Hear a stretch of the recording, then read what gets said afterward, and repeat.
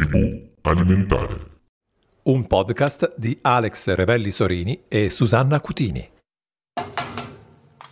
Susanna, stiamo per servire un'altra Alex. puntata del nostro podcast. Ciao Susi, come stai? Bene, tu come stai? Eh, vediamo. Che cos'è questo podcast Tribù Alimentare? Lo leggi tu, lo leggo io. Leggilo te. No, dici basta, baletto. Susanna, non siamo improvvisate, l'ho detto. Connessioni tra gastronomia, nutrizione e cultura. In ogni episodio una sfida tra due scelte alimentari sviluppata con approccio multidisciplinare. E quindi oggi I vari argomenti vengono esposti con la pa- partecipazione di esperti al fine di rendere consapevole preferenze e scelte alimentari della tribù degli ascoltatori. Interagite, interagite, interagite. Oggi è pomodori e patate. contro patate. Tu chiaramente, io prendo Che la patata, sfida. è normale Susanna, io prendo la patata. dai. È proprio... Non me la c'è. Vabbè, hai ragione, hai ragione. Sei... E io i pomodori, va bene? Va bene, tu prendi me i la pomodori. servi nel piatto, scusa. Hai eh. ragione, Susanna. È vero. Allora, attenzione, attenzione. Sono tre round in totale. Anche voi potete scegliere la vostra. Voi preferite pomodori o le patate? Voi che ci seguite, che ci ascoltate. Pomodori o patate? Che preferite? Ma- Io mille volte le patate. Io sì.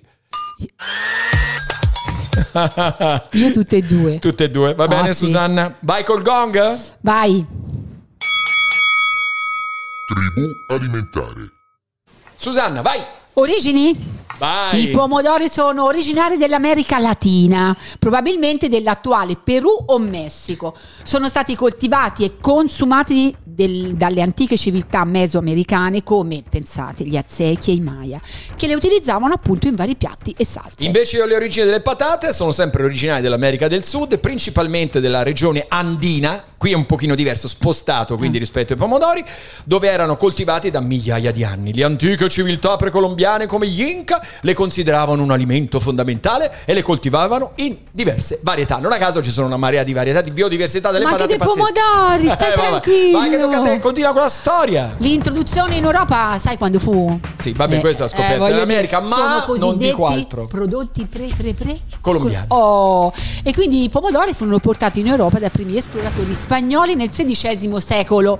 Tuttavia, insomma, all'inizio non è che fu molto gradito, eh. Mm, avevano questa forma sospetta, inizialmente coltivati come piante ornamentali perché non avevano capito che si chiama pomo d'oro, deve essere bello, maturo per essere buono, perché si credeva che fossero velenosi. In effetti contengono una sostanza che può far male. Quindi solo successivamente vennero riconosciuti come un alimento commestibile e iniziarono ad essere coltivati e consumati in larga scala. E guarda, è quello che è successo anche alle patate, Eh, certo. stesso discorso, lo possiamo dire tranquillamente stessa epoca storica, spagnoli XVI secolo lo introducono in Europa, inizialmente furono considerate poco più che curiosità botaniche e non a caso ci vorrà per tutti e due quasi tre secoli prima che inizino ad entrare nelle ricette E scritte. poi perché un parliamo dei novel food oggi Eh, noi. no, vai, eh, parliamo no. del novel food che ci impiegano due, due anni neanche per Eh, entrare. capito, cioè, eh. ma, ma di che stiamo parlando? Eh vabbè Susanna, allora Susanna guarda ci siamo sull'aspetto storico eh, della diffusione mondiale, il primo round ti vedo bella bella tosta preparata, infatti... Tribù alimentare. Allora breve pausa, ti stai rilassando Susanna, ti stai ripreparando per il continuo del concetto perché parliamo anche della diffusione mondiale prima sia di pomodori che di patate, poi della loro nutrizione, ok? Attenta? Vai. Ti sei rilassata? Vuoi bere qualcosa? Carissimi pomodori o patate, voi che preferite? eh? Storia di tutte e due abbastanza simile, ma entriamo nell'elemento della nutrizione anche. Tribù alimentare. Ripartiamo perciò Susanna, vai! Quindi dalla loro introduzione in Europa, grazie insomma alla scoperta dell'America, i pomodori si sono diffusi in tutto il mondo e hanno assunto un ruolo fondamentale nella cucina di numerose culture. Oggi sono un ingrediente essenziale in molte cucine, dalla mediterranea all'asiatica e oltre. Pensate alla nostra cucina. Ferma, io ti Senza rispondo con le patate. Ma le patate divennero un alimento di base in Europa solo dal XVIII secolo, direi fine XVIII secolo, soprattutto in Irlanda e in Gran Bretagna a seguito del- dei problemi delle carestie, perché Eh, poi alla certo. fine l'uomo quando succede una cosa gra- che ti è grave prendi, questa che era un nuovo effetto sonoro, rifallo, questa è scienzialità qui, tecnologia all'avanguardia questo, sta battendo su due tesi con le mani. Ok, allora aspetta che ti dico, la diffusione soprattutto in Irlanda e Gran Bretagna grazie alla loro resistenza alle condizioni climatiche avverse, alla capacità di crescere nei terreni poveri. Nel corso del tempo le patate si diffusero in tutto il mondo e divennero uno dei principali fonti di cibo per molte persone. Nutrienti cosa? Nutrienti? Yeah! Perché lo vuoi sapere? Sempre collegato a questo secondo round. I pomodori, i pomodori, i pomodori e le patate Sì. sono entrambi alimenti molto popolari e ampiamente utilizzati in molte cucine. Tuttavia hanno profili nutrizionali diversi che li rendono unici per diversi aspetti. Quindi calorie? Tu, Quindi i pomodoro. pomodori, le calorie, i pomodori sono relativa- relativamente a basso contenuto. I nutrienti, i pomodori sono ricchi di vitamina C, potassio, folati e vitamina K e contengono il licopene perché se tu le fai cuocere questo licopene che di solito le vitamine, sali minerali vanno a diminuire con la cottura invece il licopene fa pu pu pu pu si alza tantissimo ed Vabbè. è un potente antiossidante quindi capite che benefici che può portare poi? poi c'è un casino di fibra i Bello, questo molto scientifico, eh, professoressa. Hanno un casino di fibra. È vero, visto che se ne mangia tante, almeno Vai. questi fanno un casino di fibra, e, mm, può contribuire a una buona digestione e alla salute intestinale. Poi idratazione, i pomodori sono composti principalmente d'acqua, ma quasi come tutte le verdure, voglio dire, dai, che li rendono un alimento idratante e ideale per mantenere il colpo idratato. Aggiungo io invece patate. Voi che siete a favore dei pomodori e delle patate, ditelo, pensatelo, mandate i vostri commenti. Possiamo dire che le patate hanno un contenuto leggermente calorico, leggermente più alto rispetto ai pomodori, Susanna, giusto per Eh. darti una dritta. Come nutrienti, le patate hanno una buona fonte di carboidrati complessi, carboidrati, vitamina C, potassio e vitamine del gruppo B. Tuttavia, la quantità di nutrienti può variare a seconda della tipologia di patate e del metodo di preparazione. Fibra. Contengono una quantità significativa di fibra, bah, soprattutto se consumate con la buccia. Poi amido resistente. Le patate contengono anche amido resistente, il tipo di carboidrato che agisce come fibra nel corpo umano. L'amido resistente può contribuire, giusto per dare dato scientifico, che Sì. ci hanno passato i nostri colleghi del corso di laurea, perché noi chiediamo a tutte le informazioni, arricchiamo, sappiamo, siamo multidisciplinari. L'amido resistente può contribuire alla salute intestinale e può avere benefici sulla glicemia e sul controllo del preso. Quindi come confronto... Pomodori sono significativamente più bassi di calorie rispetto certo. alle patate. Eh? Eh, certo. Vabbè, ci Eh, siamo certo. più o meno. Una cosa, Susanna, prima del suono della campanella, meglio vitamine e minerali di uno dell'altro nel, nel confronto? Allora, nel confronto, ovviamente le calorie del pomodoro sono molto più basse della patata. Sì. I contenuti di carboidrati, ovviamente, sono più nella patata. Sono più Bene, quindi le patate danno più pomodori. E poi il contenuto di vitamine, sali e minerali. In entrambi, i pomodori, in entrambi pomodori e patate forniscono una serie di vitamine e minerali essenziali, ma in proporzioni leggermente diverse. Cioè, una Oh. li contiene in un modo e una li contiene in un altro. Il licopene del pomodoro non è nelle patate, insomma, voglio dire, no? Tribù alimentare. È finito anche questo round. E adesso, cara Susanna, sai che cosa avviene quando noi abbiamo, abbiamo degli esperti? Sei pronta per sentire un Sì, altro degli molto. esperti? Sei curiosa? Molto curiosa. E arriva, ci fanno segno, eccolo che arriva anche lui. Tribù alimentare. Allora, siamo in linea con Alessandro Circello. Alessandro, benvenuto. Il Grazie notissimo, allora, notissimo chef che da sempre eh, sta lavorando su una cucina anche legata al benessere. Sei un testimonial Unicef Uniti contro la malnutrizione. Sei una immagine televisiva di Rai 1. Insomma, ne fai tante sulla cucina. La nostra trasmissione mette al centro due elementi: pomodori versus patate. E Alessandro Circello che ci dice riguardo a questi due elementi della cucina italiana? Beh, i pomodori sono l'emblema no, di tante ricette di tradizione, le più famose in Italia e nel mondo sono a base di pomodoro. Chiaramente eh, la nostra fortuna è che sia per i pomodori che per le patate in Italia siamo un leader per la, biodiversità, eh, sui pomodori eh, ne abbiamo oltre 100 biodiversità, tutte differenti per colore, consistenza, gusto. E l'unico pomodoro che si può trovare anche d'inverno sono i pomodori del piennolo, no? che si conservano, e perché normalmente il pomodoro, a parte quelli coltivati, sono un prodotto della primavera-estate.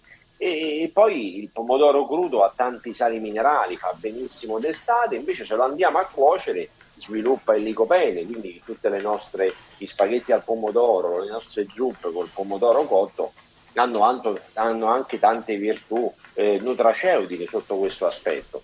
Le patate eh, abbiamo comunque tante biodiversità, anche tanti colori, adesso l'Italia produce anche delle patate colorate, le patate viola, ma soprattutto la parte esterna della, della buccia della patata, ben lavata, fa anche bene perché adesso si consumano tanti eh, prodotti integrali, va di moda questo ritorno al passato dei prodotti integrali, ma la fibra della patata fa bene sia la fibra solubile che anche la fibra, la buccia esterna, eh, che è un ottimo elemento proprio per eh, depurativo. Ma secondo te Alessandro, nella nostra cucina è più indispensabile la patata o il pomodoro? Ma sai, è qui è una questione di gusti. E il pomodoro potrebbe essere più indispensabile perché è alla base di tante delle lasagne, di tanti primi piatti, di tantissime ricette che vanno a rappresentare ecco, la, la carbonara, sì, la carbonara, la matriciana, no, per dire, e tante ricette anche romane con le polpette, la trippa. Quindi sono eh, dei elementi che ricordano anche il piatto della domenica, quindi il famoso ragù. E le patate, ovvio che fritte nel mondo è tra eh, i tuberi più amati e ovviamente anche tante industrie e quindi hai perfettamente ragione e chi vince la battaglia non lo so lascio a te la parola grande prof. Allora grazie Alessandro Circello. Ricordo anche fra l'altro Federazione Italiana Cuochi sei uno responsabile anche della comunicazione sei una persona davvero preparata su tutto quello che è il eh, cibo e il benessere. E aggiungo nonché testimonial Unicef. Grazie ad Alessandro Circello per essere stato con noi. Grazie Alessandro. Tribù alimentare. Allora, Susanna, pazzesco il Pazzesco, Circello House, il nostro eh? amico che- è un Alessandro grande, È Circello. un grande, vero. È un grande, Ma te hai veramente. sentito, quindi lui è favorevole di uno dei due e invitiamo comunque, aspetta, c'è il ring, sei pronta? Terzo Vai. scontro.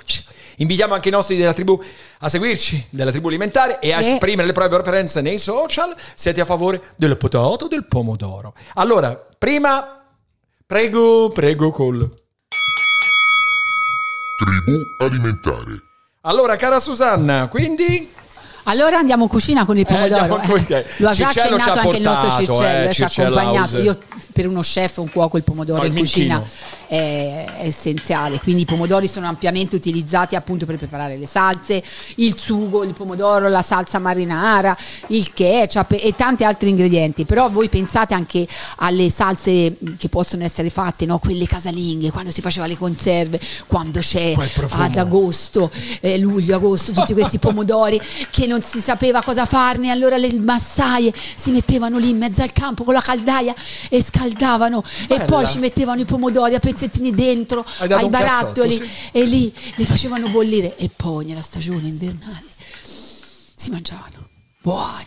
Allora io ti dico che le patate al forno, le patate fritte, qui so che sfondo una porta Le patate aperta. al forno. Le patate sono spesso cotte al forno o fritte per creare contorni deliziosi, come le patate al forno, le patatine fritte, le patate gratinate e i crocchè di patate. Per me poesia allo stato puro. Prego, che vuoi dire? Però te la- non te lo puoi permettere di parlare di la patate? patata cruda la puoi mangiare, ricordatelo. Invece il pomodoro sì, Wow. perché il pomodoro lo possiamo mangiare così semplice com'è, a Eh. morsi, appena staccato dalla pianta, ma è un ingrediente importante per le insalate, gli antipasti. Pensa all'insalata caprese senza il pomodoro, l'insalata greca, la bruschetta, il gazpacio, una zuppa fredda. Quindi Sì, però le patate sono un ingrediente comune in molte zuppe, eh? anche negli stufati, cara Susanna. eh? La zuppa di patate, il minestrone, aspetta che arriva il goulash, perché bisogna rispettare, noi siamo si inclusivi. mangia cruda. E Hai caci- capito? E il caciucco!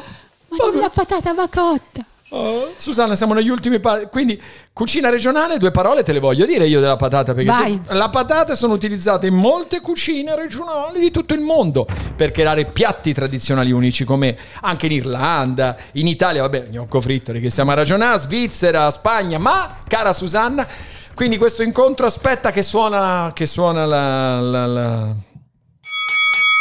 Cara Susanna, è suonata, terminato lo scontro. Chi sarà stato? Chi è preferito da parte dei nostri seguaci della tribù? Scrivetelo, tribù, scrivetelo, tribù. scrivetelo. Tribù alimentare. Io ho l'imbarazzo della scelta. Tu però pomodoro, io patata, anche voi la preferenza, call to action esprimete Call le vostre action. e magari fate anche un piatto con il pomodoro e con le patate a vostra preferenza. Condividetelo con Perché chi volete. guarda che il pomodoro e le patate insieme possono essere fatte tranquillamente. Che ci faresti col pomodoro e le Ma patate? guarda, basta tu lessare, esperta di noi lessare le patate, Vai. farle freddare, farle a fette, poi fare, Aspetta, aspetta, ti diamo i rumori di fondo, mi dicono la regia. Vai, vai, vai, vai.